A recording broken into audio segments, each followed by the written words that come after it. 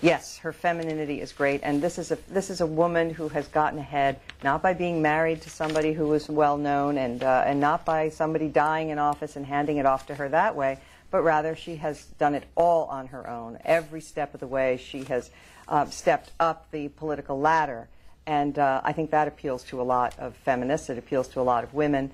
Um, but, but leaving the women thing aside, she is a reformer. That was the brilliant part of this. McCain was able to, trans, to, to feed into the best thing about McCain in this year, 2008, is that he is not the typical Washington spend, corrupt, you know, uh, you know, feather your own nest kind of politician. And what, by picking her, he was able to draw attention to that aspect of himself, and together you know, the sum was greater than the, uh, the, the, the, the, whole is greater than the sum of the two parts. But what has she reformed? If you read the New York Times this morning, once elected, Palin hired friends and lashed at foes. And also, even... Well, that's the New York Times, so but it's but suspect right away. Even, uh, by all accounts, she was for the bridge to nowhere before she was against it. Yes, well, that was the one instance she did run saying that she supported it, and then once she got into office, she realized that it was a bad idea. She changed her mind on that. And, and yet still took the federal dollars. She took federal dollars, but not for the bridge to nowhere, for, for other uh, infrastructure projects. Um, look, you know, she did institute ethics reform. She did take on the, uh, her own party, which uh, Barack Obama never has done, um, and Joe Biden never has done, um, on corruption. Um, and uh, I lost my train of thought. Well, the, the, one part about the New York Times, and this is, uh, again, um, a fact, but you can argue with the way that it's portrayed, that Franci, uh, I believe it's Havemeister, was appointed to a $95,000 a year job as the directorship of the Alaska State Division of Agriculture. She's a former real estate agent. She's a classmate of Sarah Palin and cited her childhood love of cows as a qualification for running the roughly $2 million a year okay, agency. We, we will find out more about this. This is just the New York Times foray, okay? We will find out more from her and from her supporters later on today, judging by how fast the news cycle is these days. Um, but look, there is nobody ever who has ever held political office who was pure 100% of the time. Ronald Reagan, you know, swore he wasn't going to raise taxes. Uh, you know, he said, my feet are in cement on this, famously. He then changed his mind, and they said, he said, that sound you hear is the sound of cement cracking.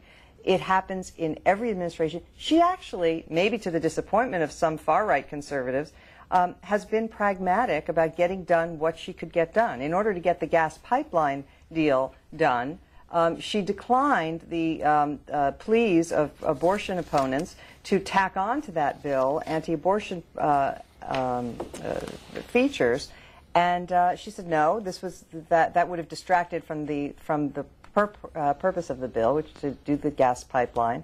Um, so she has a pragmatic way of governing. Let's take a call and we'll come back and get your reaction. Uh, Port Huron, Michigan. Good morning. Good morning. I've waited 20 minutes, so I hope you'll give me uh, some ample time. Certainly. Uh, Mona Charen is basically uh, a um, right-wing surrogate and propagandist uh, in the mold of Rush Limbaugh and Sean Hannity. She's there's no delicate way to put it. She's a liar. Jane, you're doing a great job. You stay on the issues, and she'll come back to abortion again eventually. Uh, but let's keep this on the up and up. We're talking about a PTA mom who's uh, going to be sitting across from Vladimir Putin, a KGB hardened veteran. If that's what you want America, great. We're talking about uh, John McCain. How is he a reformer and a maverick when his economic advisors, chief economic advisor, Mona, is Phil Gramm. Phil Gramm is responsible for ramrodding the legislation for deregulation for the banking industries to give us the subprime mortgage. But you guys want us to think about, oh, Sarah Palin, the uh, lipstick-wearing pit bull soccer mom uh, who's basically been the governor of a state with more dogs in it than people. Uh, her claim to fame is the Iditarod. You just called her a reformer. She's no reformer. She asked for $200 million in pork barrel just this year alone. And and John McCain put into an ad she's a reformer, that he's a maverick. Yeah, they're mavericks, just like the 1970s TV gambler, the riverboat gambler maverick. That's about as much reform and maverickism as they're going to have. And Steve, you asked earlier about faith in the markets. My faith in the market is gone. I put money into Kmart stock when Kmart was strong. Kmart went bankrupt, belly up, then came back three weeks later uh, and bought Sears. And they didn't have to pay me a dime of my money, my money that I lost. How that. much did you lose? What's that? How much did you lose? I lost about ten thousand dollars, and that's a lot of money for me Sure. because I'm just a working class stiff who believed in the markets, who put my money in the faith in the American people and the American way of doing business. And this is what they do: we have socialized corporate welfare, but then you want to go after the little uh, Cadillac welfare mom. So. Okay. my- I'm stopping you there. Thank you very much for the call. I'm going to, as promised, go to Jane Hamsher first. Well, I'll, I'll, I'll take issue with two things. One, I do think Mona is, is uh, arguing in good faith. Um, and two, I think that uh, Sarah Palin is every bit as much of a reformer as John McCain is. He's got lobbyists running his campaign out of the back of his bus, and she's someone who uh, is, is, you know, as, as the New York Times said today uh, in appointing this agriculture director, it um, just does this as a matter of habit. She fired the librarian for refusing to uh, ban books. She fired the chief of police in Which her. she has denied. Huh? All right, but The he's- librarian was not fired. all right. But he sued her, actually, saying that uh, she did fire him, and her defense was, and she won, that she could do it for any reason. Um, she also, you know, was involved in Troopergate, having her brother-in-law dismissed for, you know, for personal reasons. So she's her abuses of power are rather notorious, and uh, I think that uh, she and John McCain are uh, both uh, faux mavericks faux reformers, uh, it's a better uh, a soundbite than it is actually grounded in reality. But one of the points about the so-called Troopergate is that uh, she claims that her ex-brother-in-law had tasered his stepson and that he was a threat to the to the Palin family as the governor. So Then at that point, she should be recusing herself from the situation completely. And if the facts indicate that that should be take that that action should be taken, then others can take it. I mean, I, I think that the idea of firewalling yourself from these things when you're personally involved is just a matter of principle, of leadership, and she does, that doesn't seem to be anything that she's aware of. It's very much the way George Bush has run the country for the past eight years, and I think that's of concern. Rip on California is next. Good morning. Yeah, good morning. Good morning. Um, your uh, young lady there on the uh, evidently Republican side, uh, is her name uh, Mona Charan? It's Mona Charen. Aren't you, aren't you both glad you came up so early on a Sunday? Hey, morning? look, he just called me young. He can say whatever else he wants. I don't care.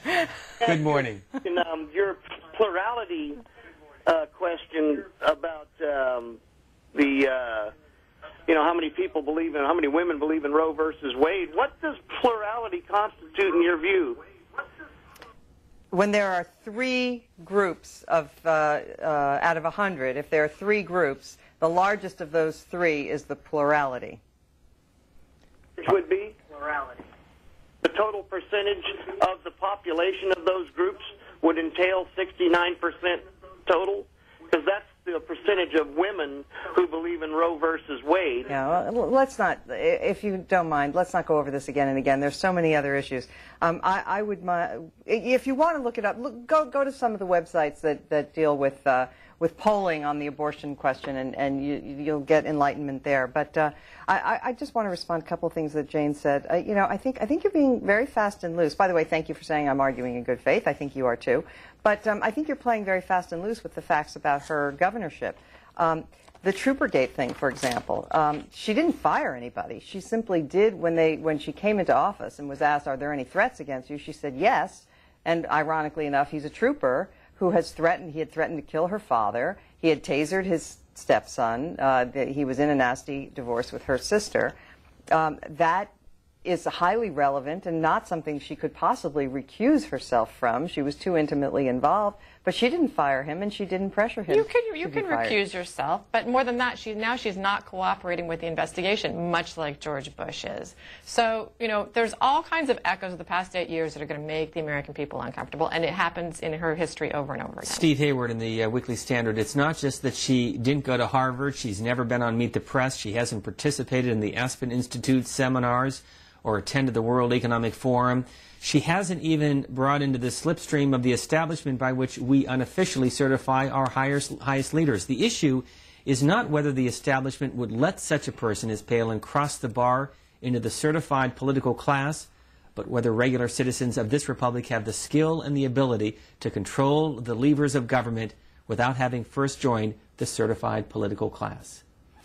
They're trying to make the class argument, and they've been trying to make the class argument all along against Barack Obama. I, I, I find it one of the most miraculous shorthands of, of sleight of hands of this particular election that a guy who was the mother, you know child of a single mother who grew up poor, lived the American dream, Horatio Alger got his way to Harvard, is being cast as an elitist, and, and somehow John Sidney McCain III, son of admiral who's, who had every advantage, uh, you know, is is the everyday guy. And so the argument continues with Sarah Palin, but it's, it's patently false.